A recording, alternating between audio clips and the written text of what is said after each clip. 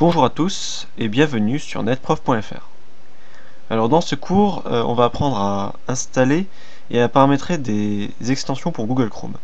Donc euh, je vous ai déjà appris à l'installer et euh, je vous l'ai fait découvrir dans un cours précédent. Donc là, bah on va commencer. Allez hop, on démarre Google Chrome. Donc dans le précédent cours, on vous avait montré déjà cette barre. Voilà. Donc là, vous avez montré le bouton. Et euh, dans ce menu là, on peut trouver extension. Donc alors euh, attention par contre, on ne trouve pas euh, ce bouton dans tous les Google Chrome, tout simplement parce que il a été instauré seulement à partir de la version 4. Donc si vous n'avez pas le bouton, c'est probablement que vous n'avez pas la version 4 et donc que vous devrez le télécharger comme vu dans le cours précédent. si vous n'êtes pas sûr, vous pouvez toujours regarder la version. Voilà. Donc là, elle est ici c'est la 4.0.249.89 voilà. On ferme. Voilà. Alors on va aller dans le petit menu extension. Donc là vous pouvez voir que j'en ai déjà installé quelques-unes hein. mais euh, bon si vous en avez pas euh, il y a quelque chose qui vous dit enfin un message qui vous dit que vous n'avez pas d'extension et que vous pouvez en installer euh, en suivant un lien. Donc moi j'ai exactement le même lien ici. On en a sur autre extension donc on arrive sur cette magnifique page où on a des milliers d'extensions proposées. Voilà, donc euh, on va faire simple, on va prendre euh, une des premières, par exemple la Cooliris. Donc ça c'est une extension qui vous permet de voir euh, internet en 3D. Donc vous aurez des photos qui sont sur un mur comme on le voit sur la photo là, mais vous pouvez aussi visualiser des vidéos, des pages internet, etc. Donc on va l'installer. donc là il nous télécharge, on voit. Hein. Et hop. Il suffit juste de cliquer sur le bouton installer. Et là, il vous dit que l'installation est terminée. Donc là on remarque qu'il y a un nouveau bouton euh, dans la barre euh, des tâches. Donc ça, ça dépendra des, extensions que vous allez installer. Mais bon, en général, il y a toujours un petit affichage. Donc là, pour Cooliris, il y a ça. Donc euh, il vous suffit de cliquer dessus et ça vous lance euh, l'application. Voilà, donc euh, il vous ouvre un nouvel onglet et vous fait découvrir euh, l'extension. donc cette extension, hein, on va pas revenir dessus.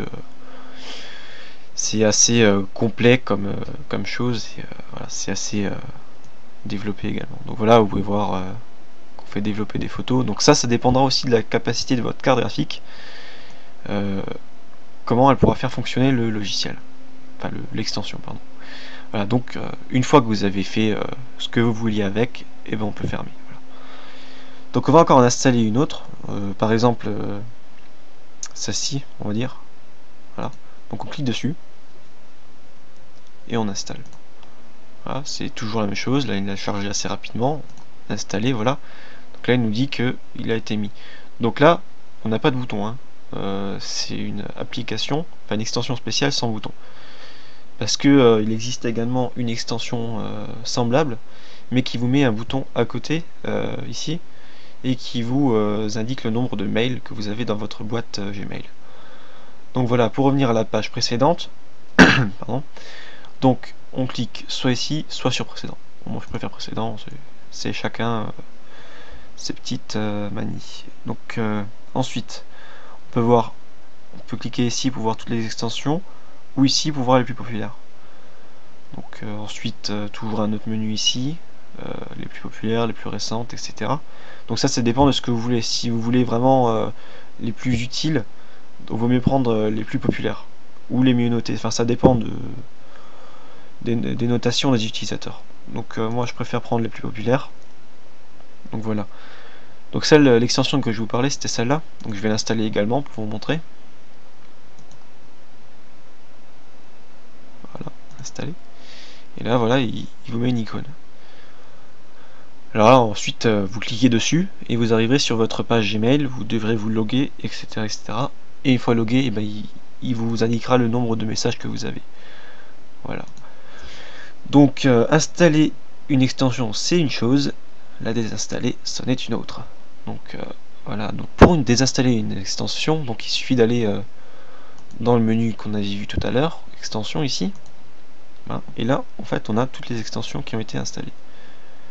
donc par exemple, là, j'ai celle-ci là que j'avais installée euh, au tout début et celle qui n'a pas de bouton. Donc c'est exactement la même chose que celle-là, sauf qu'il n'y a pas de bouton. Et si moi je veux un bouton, bah, je vais désinstaller celle-ci. Donc il suffirait de cliquer ici.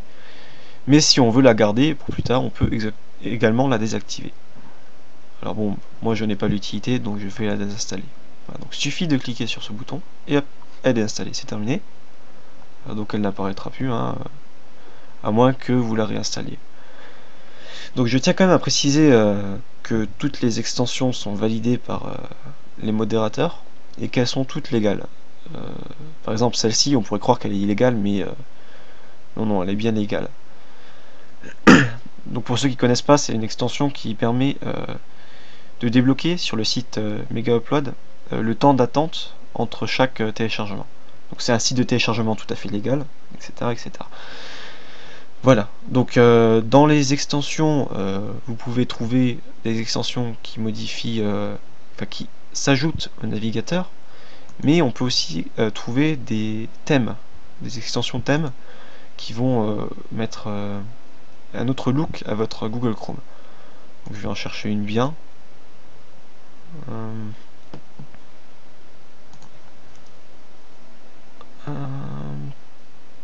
Ah, vous en avez des tas, hein. vous pouvez voir, euh, c'est euh, ça va sur 12, pages, mais une fois la douzième, euh, vous verrez qu'il y en a encore 12 après.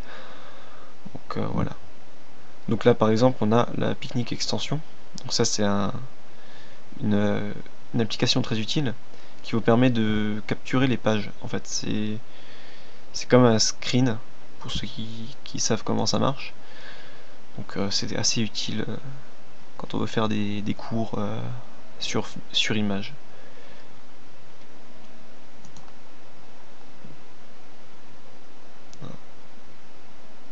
Là vous pouvez voir toutes les extensions, c'est vraiment euh, incroyable.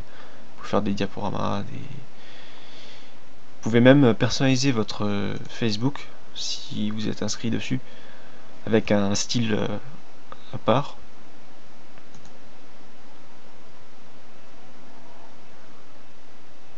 par exemple, là, ici, vous pouvez faire des zooms sur les photos euh, de Facebook. Donc, euh, c'est euh, assez intéressant.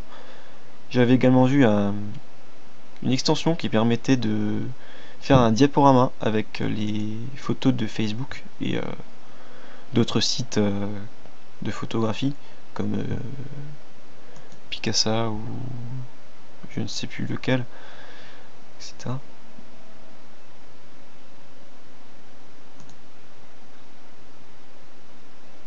Voilà. Alors là, on a un thème. Il a été dur à trouver. Hein. Donc, euh, bon, on clique dessus. C'est comme une extension. Une extension. Ça s'installe euh, pareil. Donc, euh, là, on clique sur installer. Il vous le charge. Voilà. Donc là, il vous dit que le thème a été installé. Et vous pouvez déjà voir que ça a complètement changé.